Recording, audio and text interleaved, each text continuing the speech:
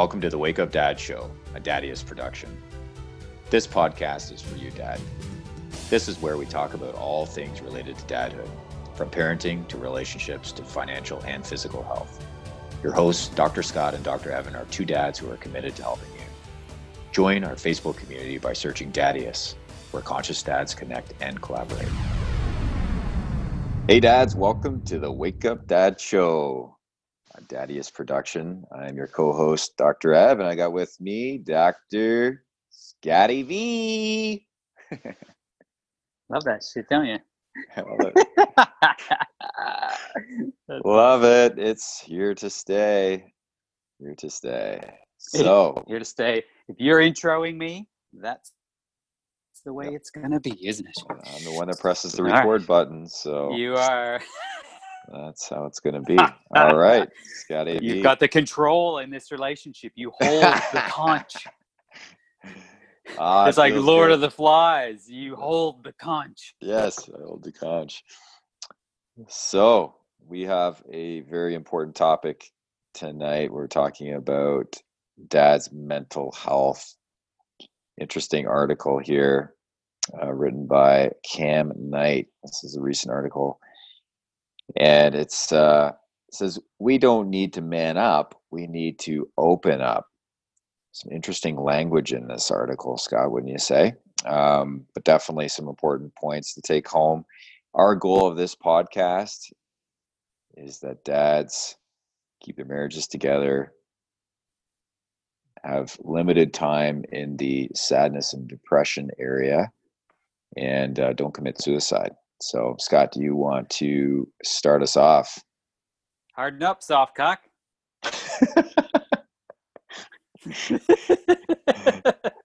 Oh, that's the first line in the in the article, and I've never actually heard that before. I, I'm Aussie. guessing this has got to be an Aussie Aussie written. Um, I, I haven't heard it either. Uh, I mean, Yeah. I get it. I know exactly what it means. So it's not it's not something that guys are just throwing that line out and Oz. Like you haven't heard that, you know, on the rugby pitch or anything mean- like that. Well, I, have I've never been on a rugby pitch. I got to tell you, Come on, man, harden up, soft cock. man. These fucking Aussies over here, they are crazy into the rugby. And uh, over Yeah. here, you say footy. You say footy, and Footy. footy, can mean like three or four different sports. But you're supposed Mm. to know which one it is Of by course, looking at the guy. By looking at the guy. You're By supposed to looking know at him. which which sport it is. right? And half the time, like I'm here long enough now, been here like 16 years, that I can almost tell sometimes. You know, footy could be rugby league, rugby union, AFL, and some people even call soccer footy. So literally four major sports, and people go, "Yeah, I play footy." Ah, Mm. Okay. That's great. Which Yeah. Which one? And I feel Yeah. like a dick for saying which one.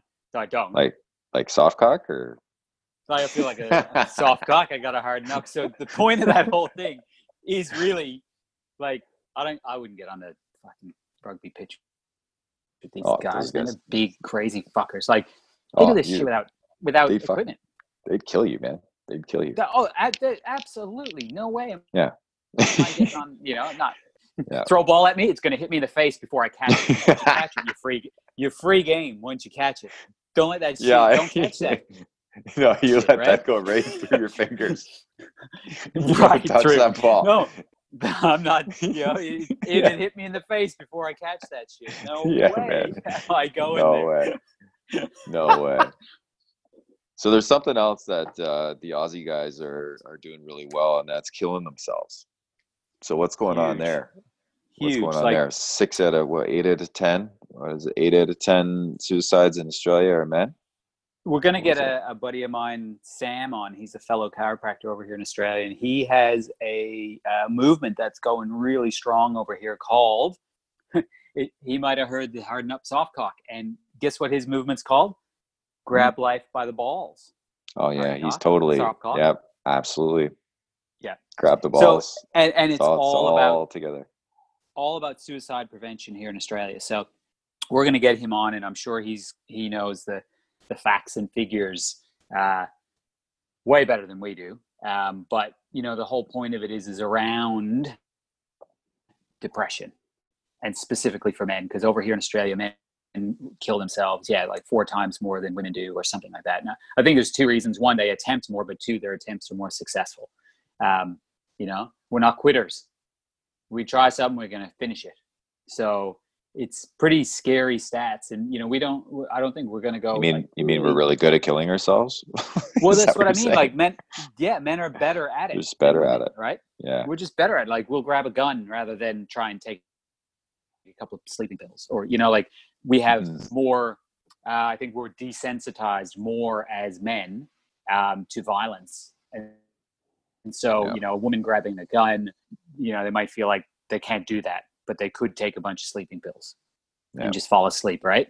Whereas men, you know, are more likely to jump off bridges and and and shoot them themselves Yeah. and stuff like that. And I think again, we got to get Sammy on. Sam Parker, listen, I hope you listen to the podcast, Sammy.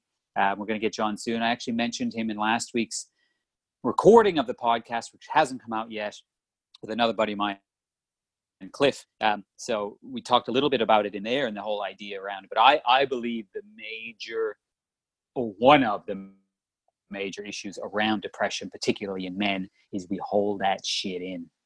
We hold it in. We don't, don't let it out.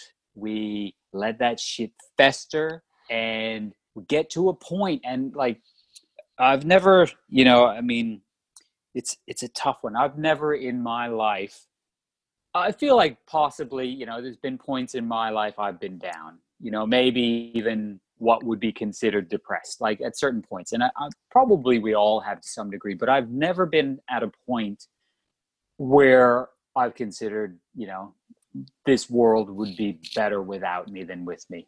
I've never, I've never been there. And the saddest, saddest one is if dads get to that point where they feel like their worth is so low that their kids would be better off without them on this world than than than being here. And I I just like it my heart goes out and I, I've never been there so I don't know from a personal point of view but it, it is inconceivable to me to get to that place and to feel like there's no other out. Like this, this is the best choice for me to not be here for my kids and it just it's so sad. So sad. Mhm. yeah, it's um,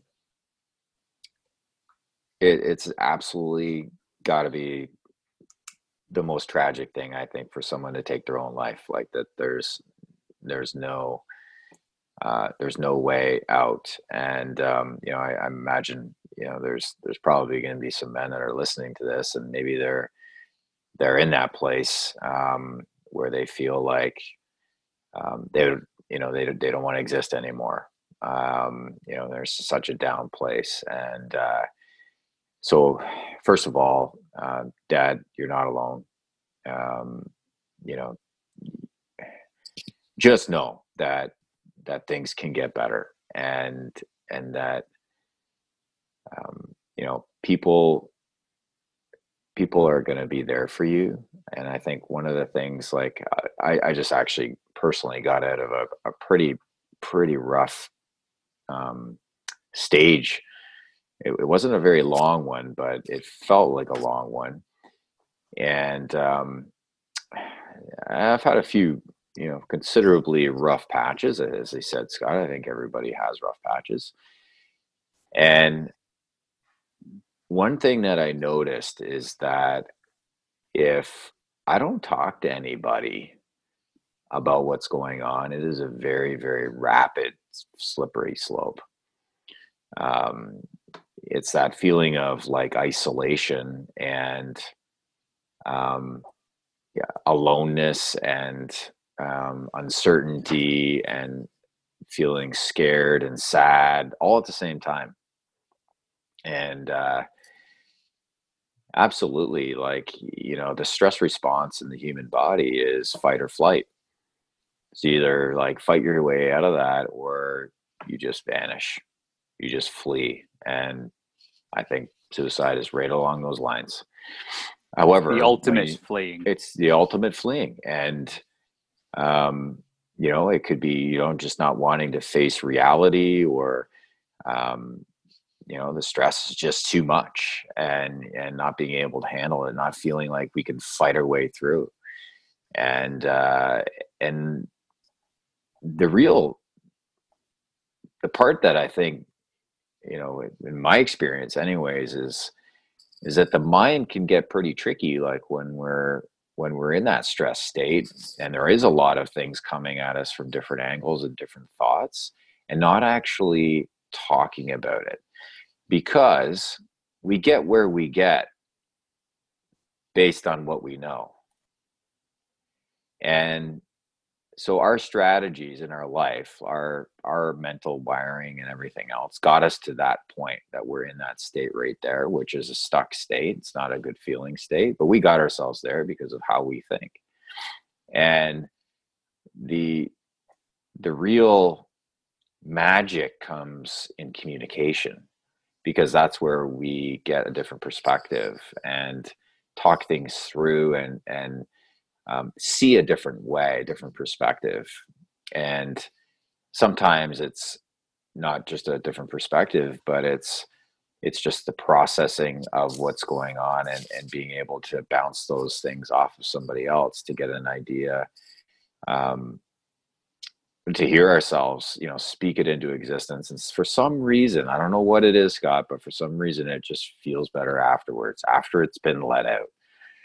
And there's a very interesting stat in here about who do men turn to when they need to talk to somebody. Let's cover that one off. All right, what's the stat? Do you have yeah. it in front of you? I don't, but I remember it. So, yeah, the like I was, I'm I'm surprised, and I'm yeah I'm, I'm yeah. This is an interesting one. So, listeners, who do who do you think it is that that Dad's gonna go and speak to when things aren't going well?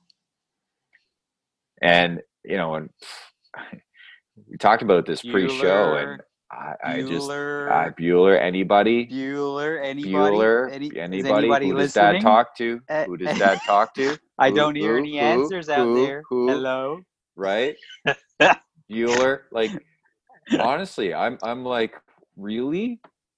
Okay, so if that's the case, if this is what dads are doing, this is probably not going to work out very well, and it could make things worse. I don't know. This is my thought.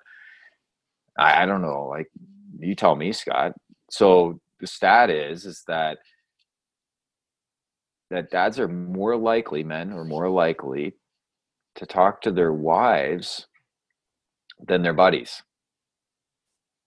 Is it is it what's going on? Half is it half? Something like that? 50 percent or something? Do you yeah. um was that one of the uh, stats or is it just that they're more likely to talk to their wife? They're they're more I, I, can pull the exact stat up. Um, we'll fill that dead air with with no I, this. got something to fill okay yeah okay you, i was going to fill some dead you, air you, you go i just thought this was hilarious um, part of the article um, i recently discovered men could also suffer postnatal depression i thought hmm how i mean really how can you even imagine a man being pregnant what do you mean i can't drink for nine months this fact alone would make most blokes depressed anyways, I thought that was kind of funny. Totally postnatal depression yeah. is a thing in men. Totally. oh, abs- yeah, absolutely. Yeah. It's a thing. Total you know? sidebar. I just yeah. thought that was a funny, funny little part of the article. So, what were you getting at? yeah. so, men, or do we need more dead air?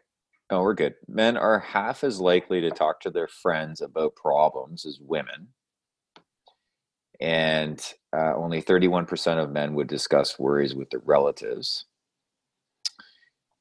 Uh, so you know, men and women are very different when it comes to like talking to their friends. Women have, you know, typically they have a lot of, um, you know, deeper connections with their girlfriends and social support and that sort of thing. And so, you know, they they feel comfortable sharing those things with each other and getting that support. Whereas guys are much less likely. Let's just throw because they don't actually give a stat. They said men are half as likely to talk to their friends about problems as women. So let's say women are like 80% likely to talk to their friends about a problem. That means men are 40%. That's four out of 10. Right? And, and what is it? Eight out of 10 suicides in Australia are, are men, I think it was. Something So, like, that. like- six out of eight or eight out of ten. Yeah. yeah. So, and the article goes on to say that the dad more likely to actually talk to his partner. Now, I don't know about you, but um, like this whole like dynamic of being married. So let's say you're you're in a you're in a marriage and you've got kids and you're let's say something's going on and you're stressed, right? Like typically like when one person's stressed, it affects both partners. Like let's say it's financial stress, for example. And you know, both parent both partners are aware there's financial stress, they're both feeling the stress. And the dad is is like down, like depressed, and he's like, you know, he's feeling like maybe sad, overwhelmed, that kind of thing. And he turns to his partner and starts telling her about how he's feeling like down and depressed and he feels like he he wants to like escape and like or whatever like is going on. He's scared and all this. How do you think she's going to feel do you think she's going to be like in a my like my take on this is i, I don't i don't like well i'll let you say first scott. What do you think? Well, I mean, if we move just step a couple of steps back and and you know through our Daddius group and we've been doing this dad stuff for a long time now between the two of us we've probably got about i don't know six eight ten years of experience you know diving relatively deep into this stuff about men and dads and you know just in personal growth we've probably got a combined 50 years of maybe more of stuff so you know we've been doing this a while and i think what I see is the top three issues that come up for men are probably around money, health, and their relationships. Mm. Right? So the the easiest one is okay, if you're a man and you're having an issue with your relationship, um, are you going to go and directly speak with your wife about that? Most men are not probably going to do that, right? Secondly, money. Now, especially if you're the breadwinner, the typical male breadwinner, last thing you want to do is go talk to your wife about money and say how stressed you are about it because that's going to stress her out like crazy. yeah and, and, a, and a And- woman that becomes stressed how does that work out Fantastic. This is awesome. Yeah. I, So- I love it. I love it when when a fem the feminine turns into the masculine. It's awesome. Yeah.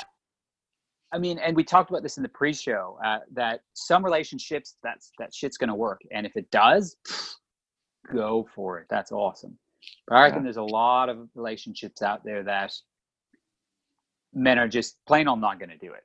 They're just they're just not gonna go to their wives with some of these problems. So, in if that's the case, then what are you gonna do, right? Most men think it's a complete sign of weakness to either go to their partner, their wife, or their friends because they think, mm-hmm. what's this? What is it? Harden up, soft cock. Now, I don't know about you, but if I went to one of my friends with an issue and he he said that to me, I don't think we'd be friends. I don't Anymore. think we. we You know what I mean? Like seriously, Well, well, if you're, I think it's really important to, to talk about because some some of these guys are going on to Facebook and asking for opinions, right? Oh, And they're getting opinions from people they don't know, and these opinions, you know, everyone's got. There's that old saying, um, opinions are like assholes. Everyone's got one, right? So yeah, a lot of the, a lot of these opinions are coming out of some assholes too. well, yeah, Like a lot of them. Like uh surprisingly, a lot of them. I'm actually embarrassed to be a dad sometimes reading some of these comments. absolutely but I- i'm hoping that you dads can discern because i think opinions matter massively from the right people.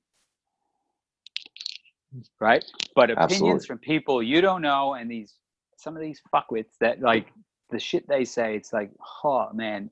But if, you got to get you got to surround yourself with the right people. I think that is the absolute key. Yeah absolutely. I think you know whoop yep go ahead. I was going to say and then and then looking at it you mentioned it earlier about this idea of perspective. Right? Because if you can open up to a true friend who won't say harden up soft cock who'll actually listen and they might not have any pearls of wisdom to fix it but again it's going to help to just get it off your chest. That shit actually works um, but then just getting their perspective because if you can remove and this is a this is so cool if you can't do it and i've done this before and when i do it and when i remember to do it which is the key is looking at your situation through somebody else's eyes mm. right so that's the biggest thing when you have a true friend and you can tell them your situation they can give you a perspective from their eyes and this yeah. thing that was huge in your life p- potentially insurmountable potentially to the point where you're like, I can't go on anymore. Just getting a different perspective or opinion from somebody you know, trust, love can make all the difference in the world and open up your eyes to something you never saw before. Because absolutely, we we've done a lot of work with Landmark over the years. I don't think we've mm-hmm. ever mentioned that on the show, but this this program or or whatever Landmark, it's pretty amazing stuff.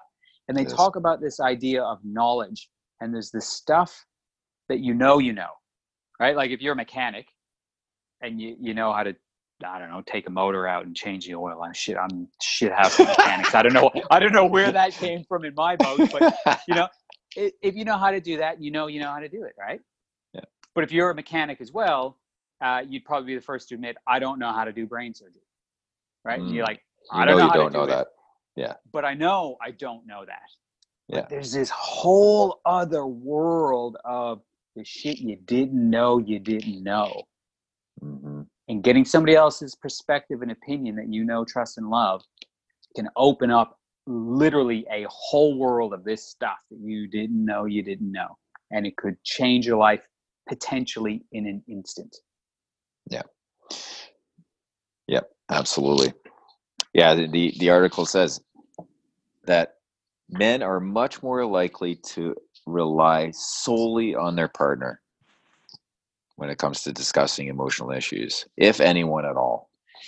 So, I mean, I, I think the take home here is is as you said, Scott, get clear on who are the guys in your life that you can talk to and get some solid advice. They're not going to turn around and make fun of you. You know, they're gonna, you know, they're not gonna say you're a loser, you're weak that kind of stuff because that's just another guy who isn't dealing with his own shit. Uh, there is no guy that's immune to dealing with these sorts of issues challenge the depression anxiety whatever it may be. There's no dad there's no man that's immune to it. Everybody has their their times.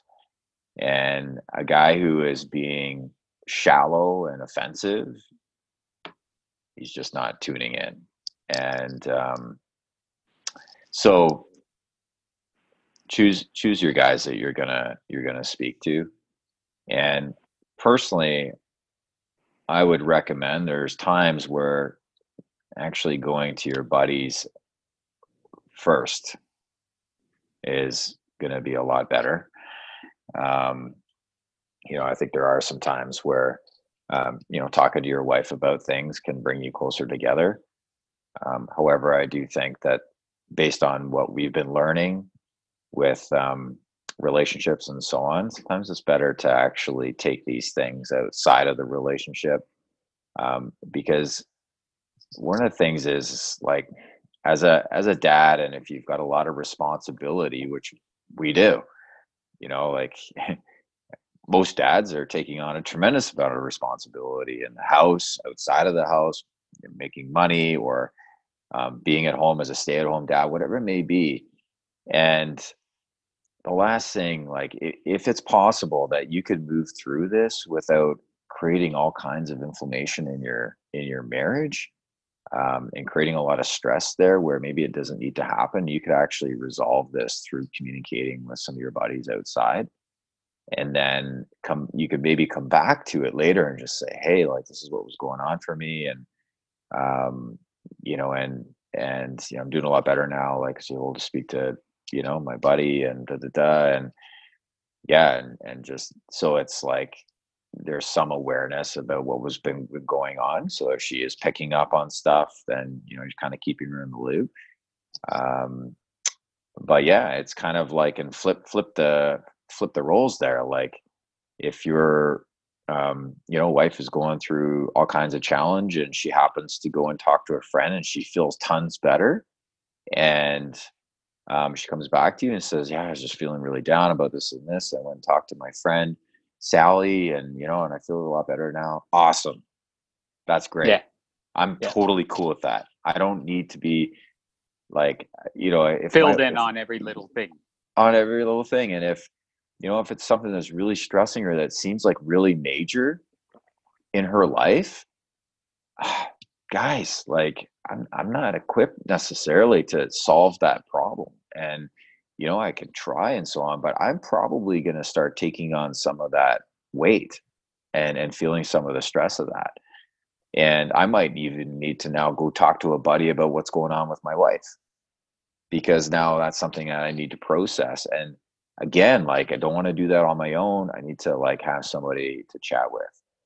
So yeah really i mean we were talking about um, you know suicide rates in australia and um, you know i was you know i was making kind of an inappropriate joke about australian men being so good at doing this and um, it's completely inappropriate because it's absolutely one of the saddest things that could happen and i think that it can be i think a majority of them can be prevented um, just with the simplicity of opening up and the other guys who are on the receiving end of a guy opening up to be there for them and to you know to do the best to to support them and talk them through it and i'll speak from example like this last this last bout that i was going through it was really tough and um, since learning all this stuff that we've been doing with with the podcast and and Daddius.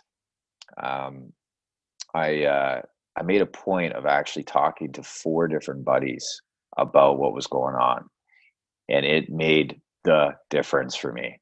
It made putting one foot in front of the other so much easier for me. It would have like it would have consumed me way more and um and yeah it can be definitely a slippery slope when you know it's what you know gets you to where you are.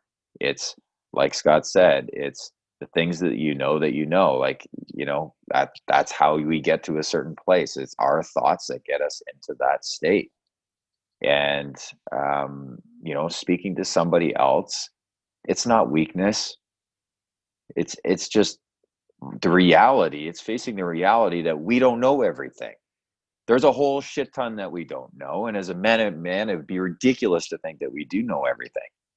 There's a whole fucking universe out there of stuff that we don't know. To think that we know everything and that the last thing that possibly would be the next step would be remove myself, remove myself to the planet and leave my kids, um, and potentially if I'm if I am married, my my wife as well. And you know that that's just got to be one of the saddest things so as a as a now a, a, dad having experienced losing my dad he was 44 years old i was 17 years old. And you know like it is it was the most difficult thing to go through that. It was the most difficult thing. So any dads that are listening to this podcast and thinking of checking out just take one step. Call a buddy. You know start telling them what's going on. Get somebody involved you know multiple people and talk through what's going on. Seek you seek professional advice. Again it's like these people know things that we don't know that can help us tremendously in moving forward. And that would be uh, my take home message for tonight. How about you scott? Yeah i mean i like the analogy of uh, when it comes to life and dealing with life, we've all got a tool belt. You know, this imaginary tool belt that's wrapped around our waist. And for each one of us, our tool belt has different tools in it. And depending on our life experiences, like you said, you know, we get to where we're at based on our past and based on what we know. And so we all have these different tools inside of this tool belt of ours or toolkit, toolbox. You know, if you don't like a belt, put it in a toolbox. That's fine.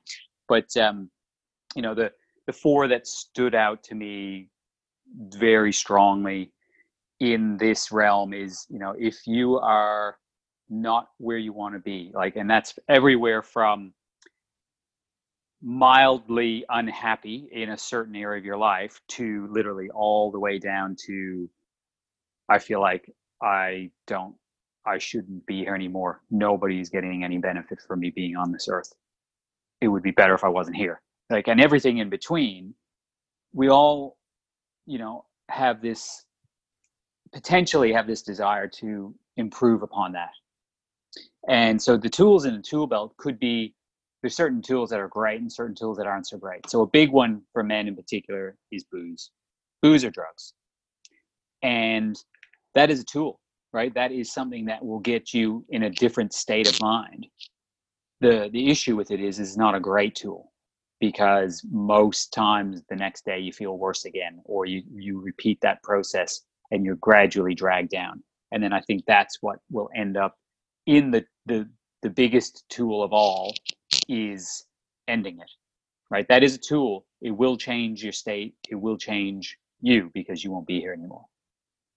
But then on the opposite side, I think the two most powerful, easiest tools that you can use, and everybody can have these, they might not feel like they have them in their belt at the moment, but they can, is exercise and talking. Simple as that. Move the body, get that thing out there, run your fucking ass off till you can't run anymore. Get those endorphins going, get that change of state, and exercise can do that you know in, in a lot of studies we've seen things like going for a walk once a day is more effective for depression than the strongest antidepressant on the market mm-hmm. your body's designed to move if it stops moving it starts dying. So get out and move. And then the, what this episode is mainly about is the talking part. You know find somebody reach out you know from everything from a coworker to a, a friend to a spouse to a, a family member to um, help groups. You know he, on this article here there's obviously it is an australian article because there's there's a lifeline uh, 131114 there's beyond blue 1300 224636 and there's dads in distress you know that's that's how important it's getting now is you know lifeline has always been a big one over here in australia beyond blue has as well about depression but now there's a specific one for dads called Dads in Distress. It's 1 300 853 437. So, you know, it's becoming a bigger, bigger problem. And these guys, these guys are trained in that shit. So if you are at that stage, call this number. It may open up that mind to give you something that you didn't know you didn't know to make all the difference. Yep and you can get on the uh, the footy patch and take a rugby ball to the face. That's another way to get out there and feel better. Hey, Scott. Well, I mean, teammates. You absolutely teammates. huge. You know. Um, oh yeah. Uh, that would be a potentially amazing one to if you're you know you work if you play on a team already your teammates um, yeah. or if you're not playing on a team to look at exercise like i said the easiest thing is like if you're just in it right you go barefoot over here in Australia if it's you know any time of year. Just run, just go out and run, just do it. But mm-hmm. yeah, if mm-hmm. you can get onto a team, that's so much better. There's so many more benefits from being in that social circumstance and situation as well. So absolutely, and um, yeah, but you're not going to see me on that footy field. I can tell you. No, at no. least not with the blood running down your face. All right, dads. See you on the Daddius page. Looking forward to tuning in with you next week. Cheers, guys. Great week.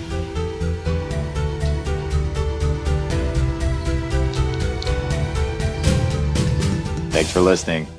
Remember, join our Facebook community, Daddius, where conscious dads connect and collaborate.